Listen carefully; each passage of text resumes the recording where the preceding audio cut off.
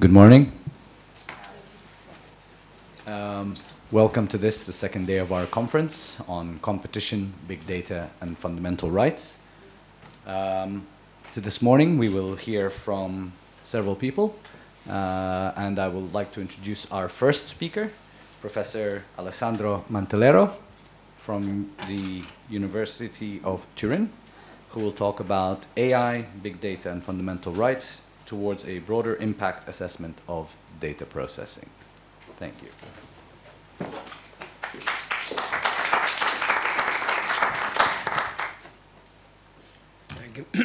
Good morning. Thank you for this invitation. It's a pleasure for me to be here today with you.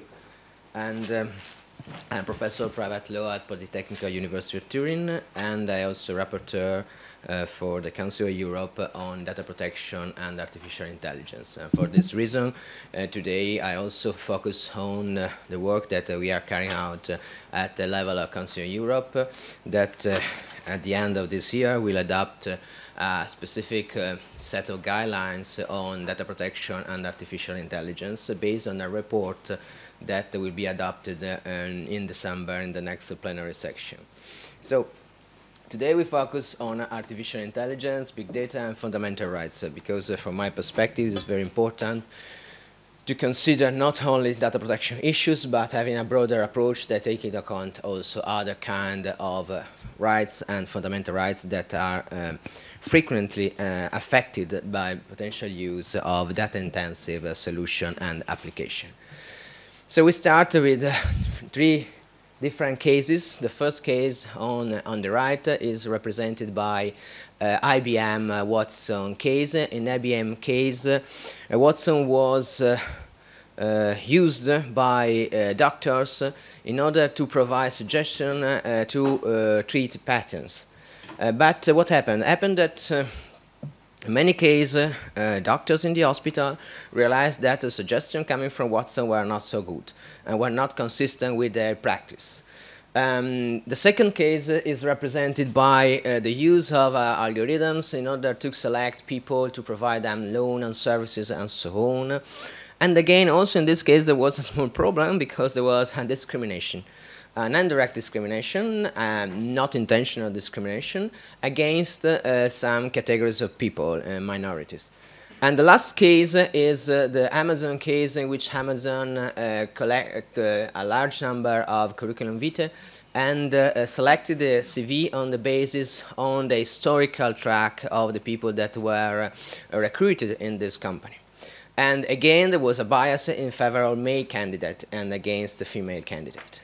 Uh, what is the reason of this different case? And we can also add a, a further one that is represent is not in, in, in, the picture is represented by the case of uh, a company, um, an insurance company uh, that uh, collect a lot of information uh, based on a sort of sensor that was uh, on, on, the car and was able to detect uh, the manner in which you use the car.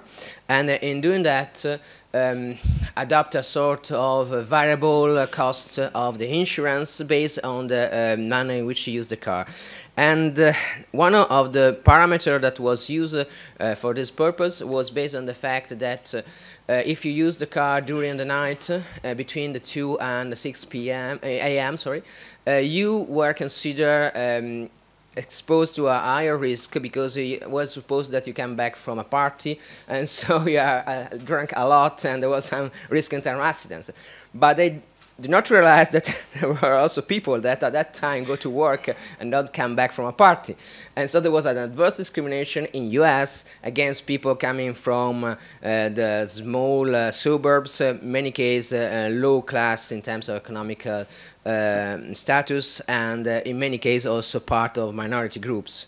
And so what, what is the issues in all these different cases? The issues based on the fact that we use data-intensive systems but in many cases, we don't care too much about uh, the potential impact of this system in terms of uh, um, negative, adverse impact on uh, rights rights in terms of rights of movement, uh, rights in terms of non-discrimination, and access to works, access to education, and so on. So there are a different range of interests that are potentially affected by this kind of application if they are not used in a careful manner. And the reason is due to the, the different um, uh, reasons that are mentioned in, the, in this case. For instance, uh, in the first case, uh, in the case of the, the, the doctor, and the, the problem is that uh, the data that you use for the training phase of this algorithm are very specific data set. In that case, where the data set of a specific hospital.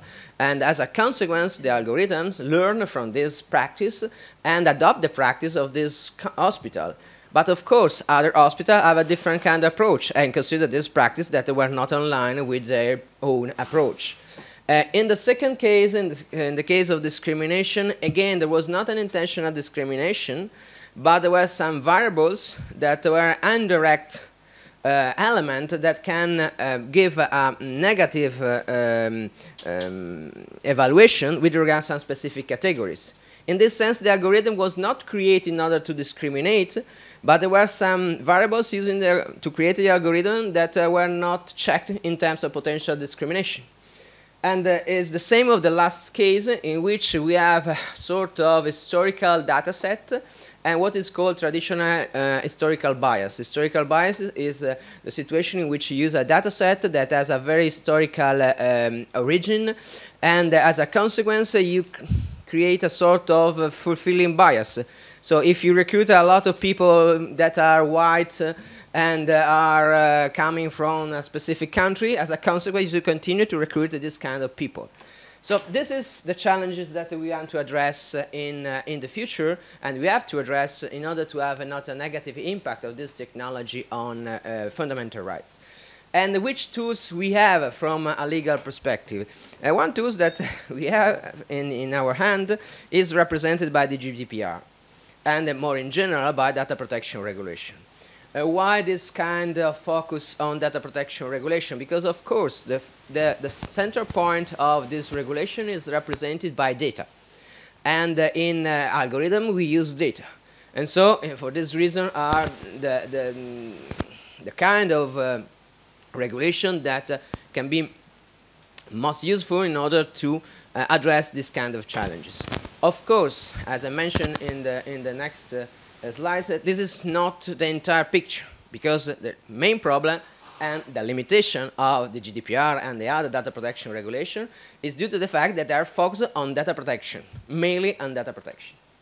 So, uh, in this sense, there are different myths that uh, are relevant uh, from this perspective. The first one is the myth of consent or broadly self-determination with regard to data use. So the idea that individuals are able to understand, are able to take a decision, and are able to express a meaningful consent or, or other forms that give a sense of self-determination with regard to uh, the use of data.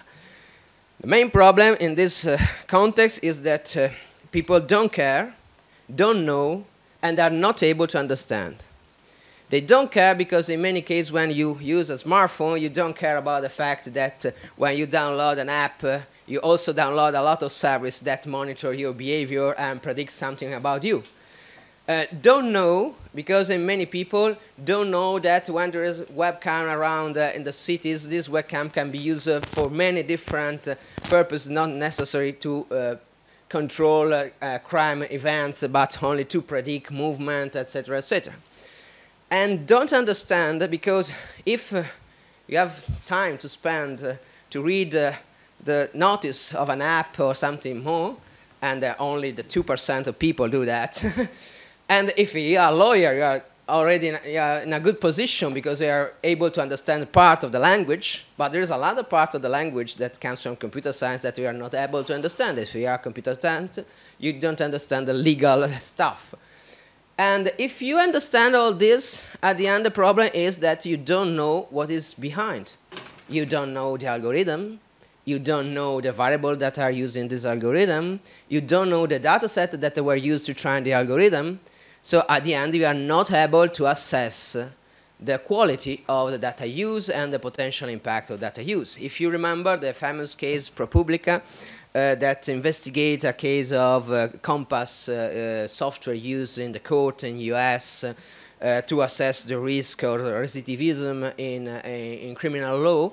the COMPAS case was possible because the ProPublica invested time, money, and resources in order to detect this bias that affected this algorithm but we cannot imagine that there is a ProPublica behind every corner in the city able to have time and resources to investigate each kind of algorithm that we use. Also because algorithms beca are becoming cheaper and cheaper and so are embedded in many different kind of applications so it's very difficult to do that. So for this reason the idea of consent of self-determination and also the individual dimension of data protection represent a critical problem.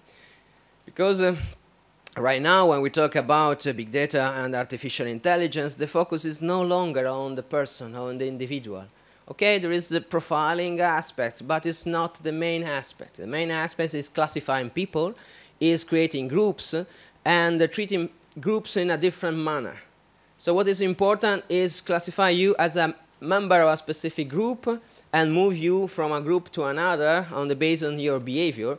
But the algorithm and the entity that use algorithm don't care about the fact that you are John Smith or another person. They are only interested in the fact that you are an, an entity with some specific uh, qualities and, uh, and uh, these qualities make uh, possible to classify you in a specific group. So this is, a, from a legal perspective, is also a problem in terms of the application of data protection in, in this field. The second myth is the fact that uh, According to GDPR and the other data protection laws, uh, the focus is uh, on the purpose.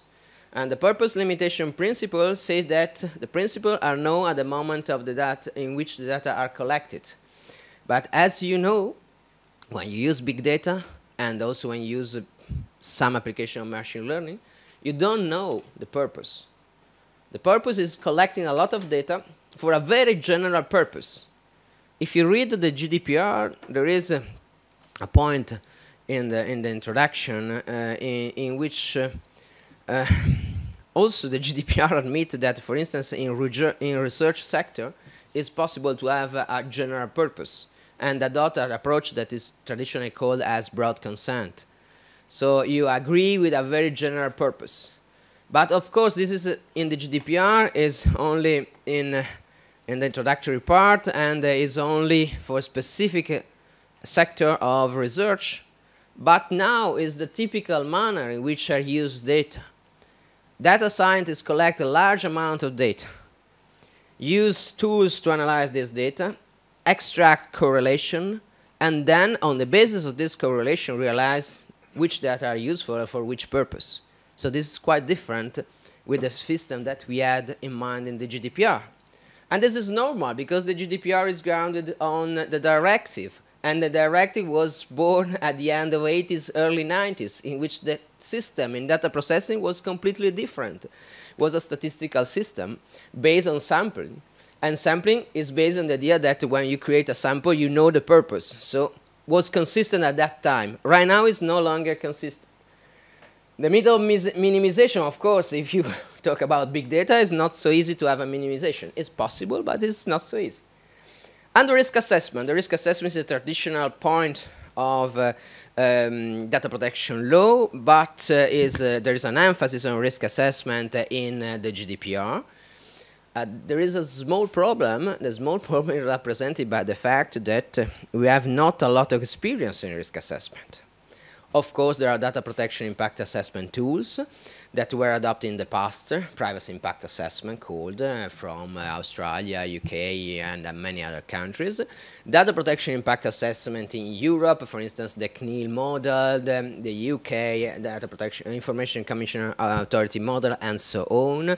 But many of them are based on two main pillars, data quality and data security. There is not a lot of room for the impact on society, the impact on fundamental rights, and the main focus represented by the quality of data and data security. So the suggestion is to try to find a manner to go behind the GDPR, to try to figure out a new solution that are not necessarily regulatory solution. Because of course we spent a lot of time to create the GDPR. We cannot imagine to have a new GDPR in a few years and it was uh, a nightmare for many people. so uh, the idea is that there are other tools, there are soft law, there is room also in the GDPR for code of conducts uh, or practice and so on, but tools that are also more flexible to deal with the challenges represented by the new forms of data-intensive application. And in this sense, I think to start a discussion on this different scenario, future scenario, we have to take into account some points. The first point is what I mentioned before, the categorical approach of these tools and the predictive nature of these tools. The second point is that the profiling is no longer at an individual level, but is at group level. So we have to consider this collective privacy. Collective privacy is also a challenge from a legal perspective, because from a legal perspective, collective rights in the field of human rights are not so accepted. There are collective remedies in many cases, but there are not collective rights in this sense. Although, for instance, in the field of uh, um, environment law, there is a, a, an experience, a long experience in terms of collective interest in environment. And so uh, this suggests us also to, as a lawyer, as a law scholars, to reconsider the categories. I know that it's very difficult for lawyers to reconsider categories, but it's also important uh, to consider that some categories was created in different period. For instance, human rights the notion of discrimination in human rights that is based on specific categories uh, is due to the fact that that categories were used to discriminate people.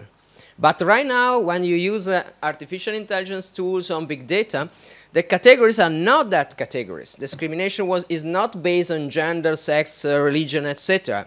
It's based on the fact that you are a soccer mom, according to uh, a report adopted in 2012 in US. Soccer mommy means that you have kids that play soccer and you are more oriented to buy a certain kind of goods and to uh, use a certain kind of services. But in a few years, uh, your kids change uh, your uh, activities and you move from a category to another. So this is the risk of discrimination, but it's a completely different kind of discrimination, not based on a traditional category. So we have to reconsider also our legal approach. And moreover, take into account that it is no longer a problem data protection. Data protection, also in its historical background, is sort of enabling right. There are many other rights that uh, are uh, enabled by the use of data. And so when we talk about data protection in a broader sense, uh, I think that is important also not making a confusion because uh, right now I read in different papers a sort of confusion. So we use, uh, for instance, the principle of fairness in GDPR to put everything in the GDPR. But I think it's not correct. There are some rights that are safeguarded, that are protected in a specific manner in the International Charter of Fundamental Rights. And we have to consider these rights in their specific context, not considering everything based on GDPR because it's not correct is another interpretation of the GDPR that also affected the effective safeguard of these rights that are better protected using traditional categories as human rights, for instance. So another point, not only moving from data protection to uh, human rights, but also considering the ethical dimension. There is a lot of debate on data ethics.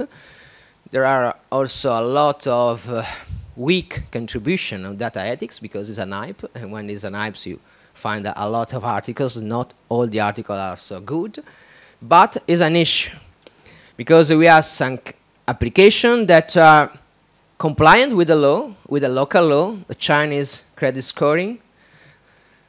This project founded by European Union based on the idea that we are able to detect the emotion of the people at the border control and to understand if the answer to the, uh, to the question, the border control, are correct, true, or false. Uh, part of the fact that it's not so grounded from a scientific perspective and is funded by the European Union, uh, the problem is that all these projects uh, are based on legal ground. In the European project, the consent, informed consent, of course, and the Chinese law that legitimate this kind of system. What this means, uh, considering for instance another case when you go to Schiphol airport and you use body scan or something like that. There are many applications that are consistent with the law, but it doesn't mean that uh, there are no problems in terms of ethical uh, value, in terms of social value. There are some applications that impact on the manner in which we see our future as a society, as an individual. Uh, the debate that is ongoing in Toronto with regard to the Google uh, Smart City project in a specific area of Toronto is an example. It's consistent with the law, but the problem is it's also consistent with the ethical and social value of the community. This community can accept to have a very uh, wide and uh, pervasive uh, forms of smart control. Uh, these are issues that should be taken into account. In this sense, I think that we have to also make a specific distinction. There are different circles. There is an inner circle that is represented by privacy and data protection, and there are differences between privacy and data protection, of course. Then there are human rights, as I mentioned before, and then there are social and ethical issues. It means that the social ethical issues represent an add-on, representing something different. You cannot uh, risk to have an overlapping between ethical values and legal values. This is a risk from a, a regulatory perspective because its law selects some values and safeguards this value in the legal framework. The value of the law, of course, are grounded on ethics and social values, but are represent a selection, represent a specific core values that are safeguarded in a specific manner by the law. We cannot imagine a complete overlapping between ethics and the law. So from this perspective, ethics is something that is added to the safeguarded already protected by the, uh, provided by the law.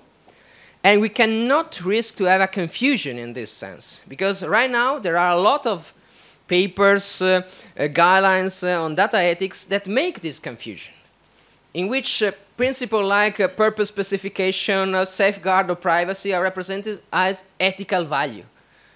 this is a problem from a regulatory perspective. Because if you go to a company and say, this is an ethical value, the company say, okay, I'm not so ethical. okay? Uh, if you go to the company and say, yeah, this is not only an ethical value, but there is a regulation and there are sanctions, uh, the company think, oh, it's not so nice, but I want to be compliant. This is the reaction. So uh, it's also important not provide misleading communication about that. Ethics is very important, but it's important to complement the regulatory framework to add to the regulatory framework aspects that are related to the ethical and social value in a specific community because different communities may have different kind of approach in data science and data use and this aspect should be taken into account because it's a very important aspect but it's something different from the legal issue so there is an ongoing debate in this sense. There are some uh, guidelines provided by different entities, and we try to uh, summarize them.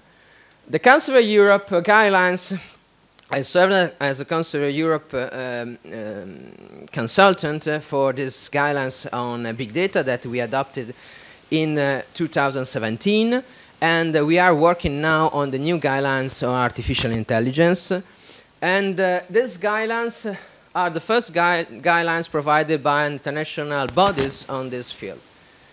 Uh, the declaration adopted by the Conference of uh, uh, Privacy Officer and the Data Protection Authorities uh, in uh, Brussels uh, recently last October, if I correctly remember. and the European Parliament resolution that is quite broad, and the DPS initiatives on data ethics, and many different kind of initiatives of corporation, body of expert, IEEE, for instance, etc. So I focus on the main legal tools. Uh, the guidelines of big data we adopted in 2017. Uh, at that time, talking about ethics sounds a bit strange, but uh, we put in these guidelines, in the Article 2 of the guidelines, a system of impact assessment that take into account the legal issues and also the impact on the ethical and social values. This is the first system that also embed ethical and social implication in the assessment. We suggest to adopt a precautionary approach, and we suggest something that is not in the GDPR and in many other data protection laws, so have a, a more relevant engagement of the stakeholders and have a transparency in uh, the impact assessment. In the GDPR, these elements are kind of suggestion for a large part. Uh, the uh, European Data Protection Board suggests to have a better engagement and to demonstrate the reason uh, not to having the engagement of the stakeholders, and is the same also with regard to the transparency of data protection impact assessment. But unfortunately, the GDPR is not so strong in this direction. And this is strange, because the data protection impact assessment in terms of general theory of risk is based on engagement, is based on transparency. If you consider that the, the, fundamental pillar of this model that is represented by environment impact assessment. Environment impact assessment is a participatory tool and based on transparency of the results and the discussion. Um, we focus also on the freedom, uh, the freedom of human decision maker not to rely on the suggestion provided by big data. Because for us, big data at level of Council Europe are mainly big data in the sense of tools to support decision maker or to take decision because we are not focused on the quantity of data, etc. So the freedom is very important because right now, and the same principle is also in the new guidelines on artificial intelligence. Right now, the problem is that in many cases, the human decision maker is in front of a machine that say, okay, you have the solution A that is, uh, the solution A is better than the solution C. And the, the human decision maker, 90% of case, accept this suggestion. Because if you don't accept, you take the risk to be liable with regard your entities, your corporation or public entity that may ask you, oh, the solution was not so good. Why you don't, uh, you didn't follow the suggestion of the machine, okay? So this, this is a risk of the limitation of self-determination. For this reason, both in, in the guidelines on big data and artificial intelligence, we suggest the member parties, and you remember that the Council of Europe is uh, composed by 53 members, not only European Union countries, but many countries outside of, uh, uh, of Europe. We suggest member parties to provide safeguards in order to protect the freedom of the decision maker, not to be criticized or to be punished or have a negative consequence on the basis of the fact that they decide not to follow the machine. Because imagine the case of the doctor, okay, and medical malpractice uh, uh, liability. Uh, you cannot say if the, if the behavior of the doctor was not consistent with the algorithm and so is liable. As a consequence, the doctor will do what the algorithm suggests. And based on the criticism of Watson, you can understand that we have some problems in this sense. By design solution and the problem, the, the blurring distinction between sensitive and non-sensitive information. And also technical aspect. The design uh, focuses more on interface. Uh, mm, if you read, for instance, Ryan Calo, Ryan Calo suggesting in an article uh, to use uh, a sort of visual notices, so notice that are able to impact you from emotional perspective. For instance, instead of say, oh, you, this post uh, you can share with all your friends uh, or all the world, and the option is only a ticking point. But you can imagine that when you take uh, all your friends, pop up all the faces of the friends, so you say, oh, no, too much. okay? Uh, so this is also, we have invested in this sense. We cannot continue with the traditional notice that nobody reads. Um, the risk of identification is another problem. I recently assessed five uh, big projects uh, at uh, H2020 project on IoT. And in some projects, I found the declaration in which uh, people say we use anonymous data. Okay, the problem with anonymous data is that you have to demonstrate that there are anonymous data. And so you have make an assessment of risk of identification. Because uh, if you don't focus on the risk of identification, the anonymous data are not so anonymous in some cases. And the same problem with the open data. There's a lot of emphasis on open data. Many public administrations want to be so open, but they don't care about the fact that there are many different silos of open data. Each silos can be GDPR compliant, data protection compliant, but if you merge all the silos, you can extract further information and identify person. So the open data policies should be more related, more connected with data protection issues not uh, in the sense uh, uh, in which we use uh, right now, in which we have sort of distinction. There are projects for open data and projects for data protection, but they don't uh, have a dialogue between the, this kind of project. The guidelines for artificial intelligence, in this version is the version October, November this year. Mm, the focus, of course, is not only data protection, but is fundamental rights, uh, consistent with the Convention 108. And the, the focus is on the risk, and we provide specific guidelines to the developers and policymakers. So the idea was to have a very practical approach. Unfortunately, there is a lot of debate about uh, the principles, but we need some more specific. The limitation of all these guidelines that are based on the technology. So big data, artificial intelligence, but uh, of course, uh, big data, artificial intelligence in healthcare sector, big data, artificial intelligence in defense sector, big data, artificial intelligence in transport sector are other subset of rules, a subset of values that should be taken into account. So, of course, the main limitation of these guidelines that are necessarily a bit generic. The risk assessment focus on uh, fundamental rights, not only on data protection, and to approach a by design uh, and to adopt a by design approach in order to focus on the risk since the beginning of the, the, the design of algorithms and focusing on the risk of decontextualization. Decontextualization of the data and of the algorithm. In many cases, we use the data as raw data.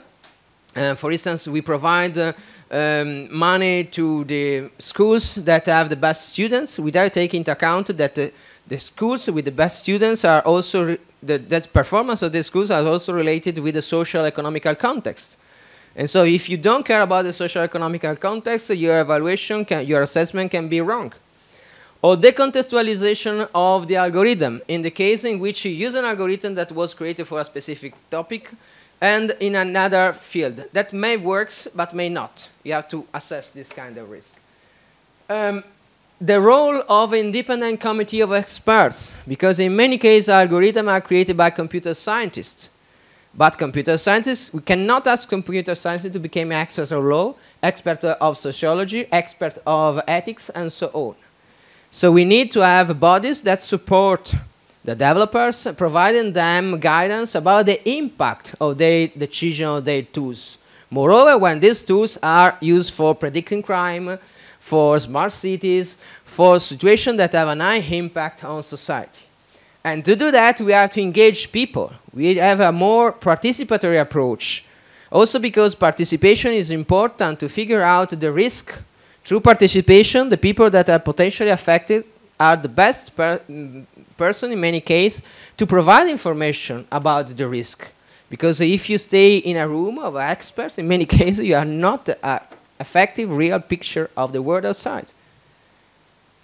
And uh, another point is uh, the idea that uh, there is a migration towards artificial intelligence, but we don't need necessarily to migrate everything. So we have also to give the user to have the option of the stupid fridge, not only the smart fridge.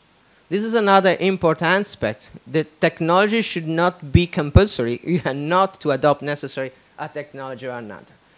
Um, and the knowledge of the fact that there is a technology, the knowledge that the fact that there is data uh, artificial intelligence behind.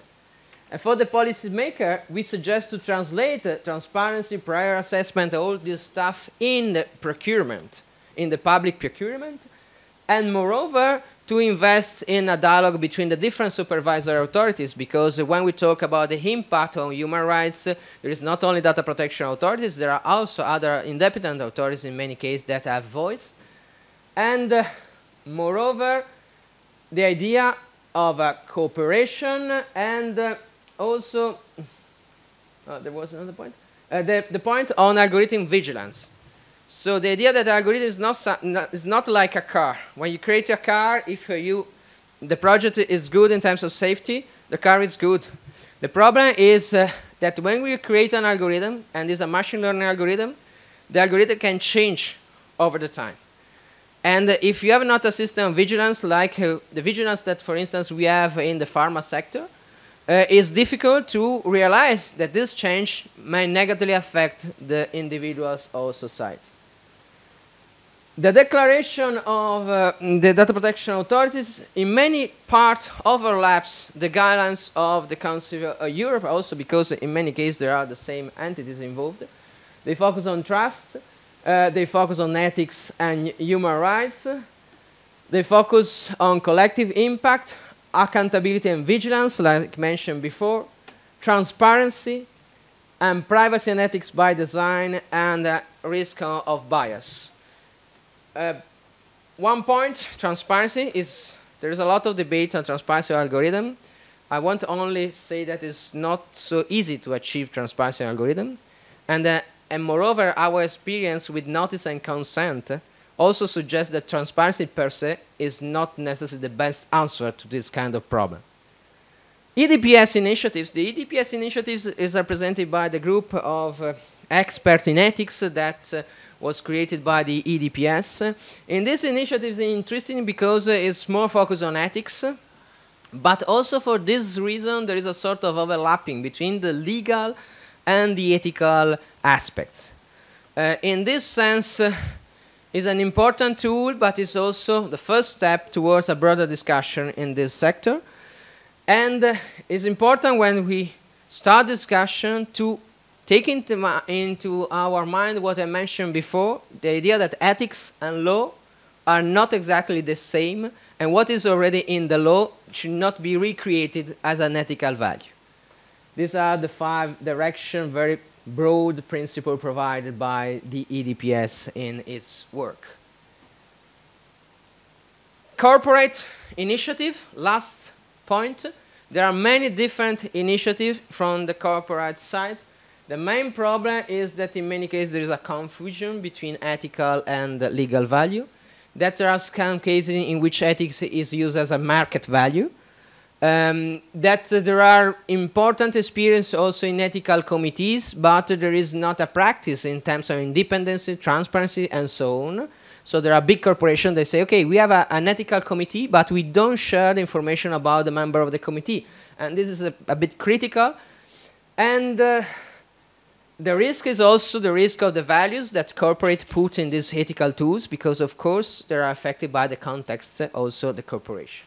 So this is the whole uh, uh, solution that we are trying to figure out uh, to address the challenges represented by the data protection and broadly data-intensive system that use personal information to predict the behavior of individuals and society in the context of artificial intelligence and big data application. Thanks a lot.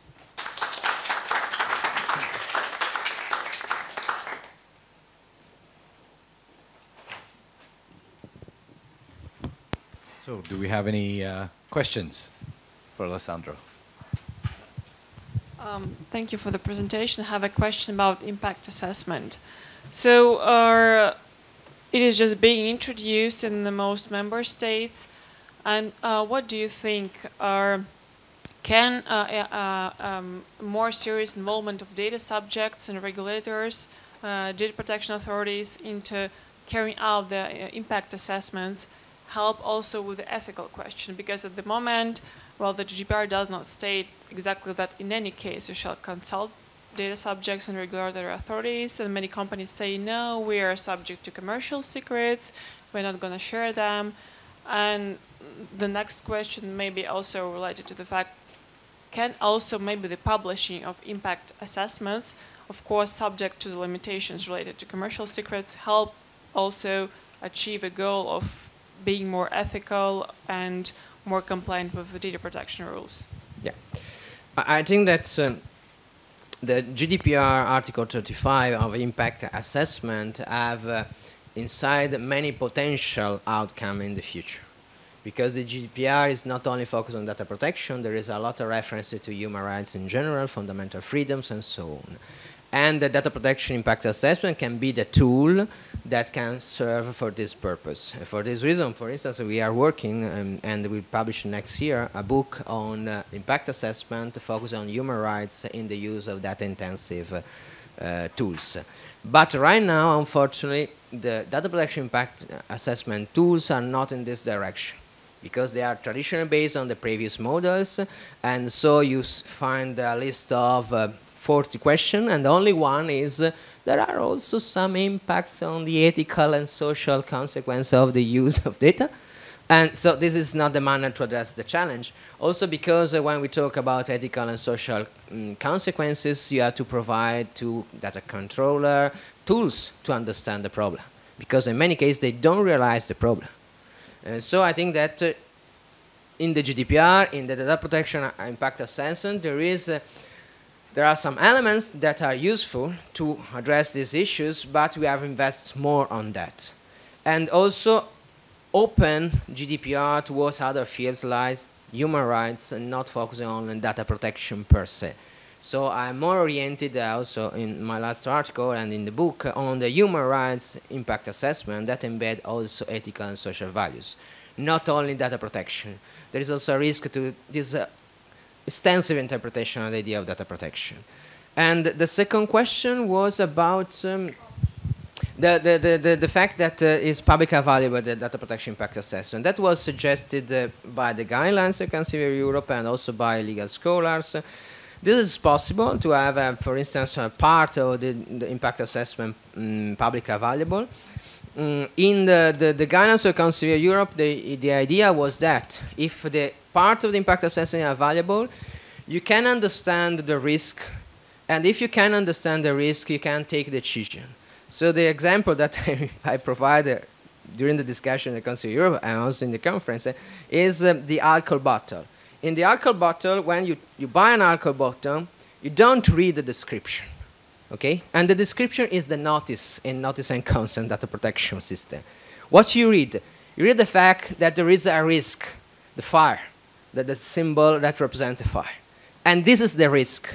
So this, this is the approach people are not so interested in the manner in which you process the data, but are interested in the impact, in the risk. Focusing more on the risk, providing more information about the risk, we can also create a better environment in terms of awareness and self-determination with regard to data processing. Thank you. Any more questions? All right. Well, thank you, Alessandro. Thank you very much.